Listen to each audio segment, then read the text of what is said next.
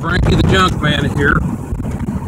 Just out here uh, get, heading over to a job, and I was driving down the street, and uh, some guy's walking down the street. He's seen my truck, and I hear him holler out, "Frankie's hauling!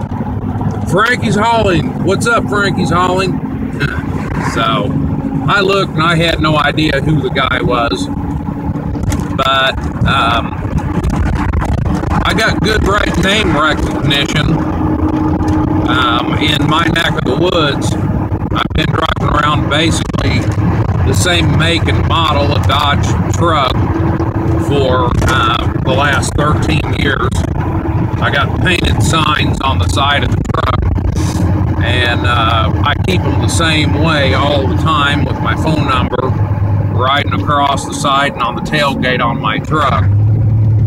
So, uh, the point that I'm getting at is you get good name recognition with signage on the side of your truck.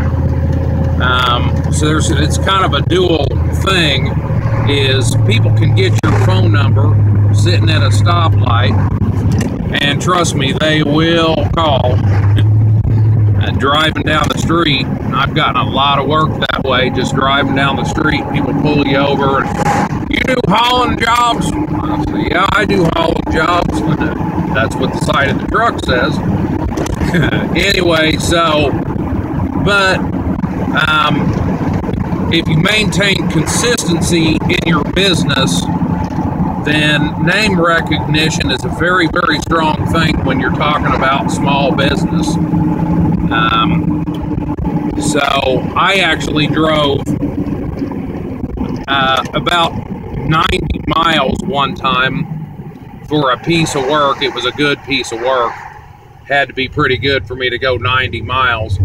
But 90 miles from my hometown somebody recognized me over there too, which was a real trip. But um, that's how integrity and name recognition um, and having a small, you know, having a consistent business, that's how powerful that really is. So, just kind of thought I'd throw out there. It's kind of a kick and it's kind of a little bit of an ego boost, I guess. Um, have something like that happen, kind of a, a reward that is not a money type reward. So anyway, pretty cool.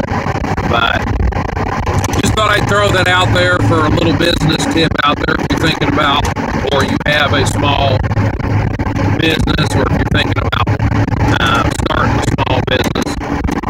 It's a good way to go about it. You don't need to spend a lot of money on some signs. Um, people will see them And it does definitely work.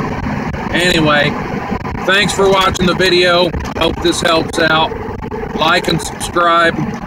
This is Frankie the Junk Man, and I'll catch you on the flip side.